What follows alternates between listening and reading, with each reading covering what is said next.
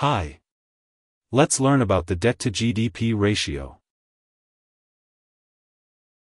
The debt to GDP ratio compares a country's public debt to its gross domestic product. This ratio indicates the country's ability to pay back its debts.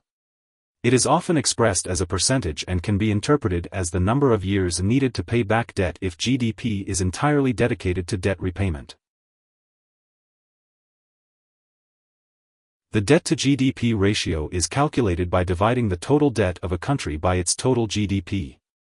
A high ratio indicates difficulty in paying off external debts, leading to higher interest rates when borrowing.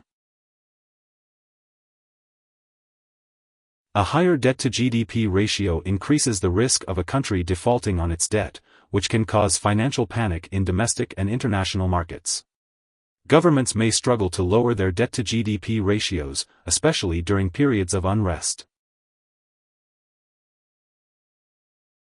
Countries with debt to GDP ratios above 77% for extended periods experience significant economic growth slowdowns.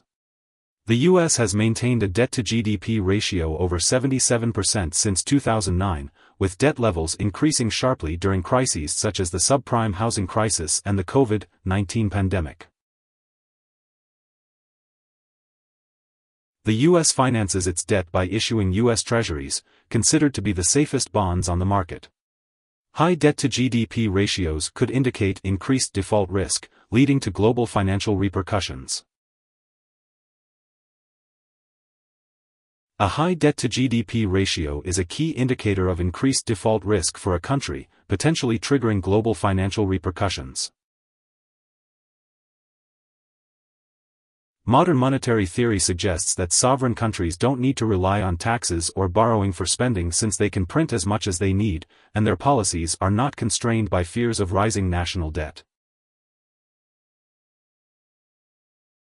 As of 2022, Japan had the highest general government debt to GDP ratio at 261.3%, followed by Greece at 177.4%, and the US at 121.4%. Here are two key takeaways. 1. The debt to GDP ratio is the ratio of a country's public debt to its gross domestic product.